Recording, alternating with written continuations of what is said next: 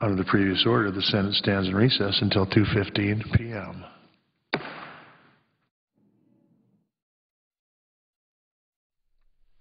The Senate has recessed for their weekly party lunches. Senators return at 2:15 Eastern to consider a judicial nomination. Edward Chen for U.S. District